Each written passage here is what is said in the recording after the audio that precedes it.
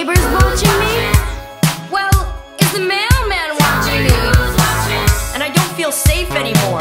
Oh, what a mess. I wonder who's watching me now.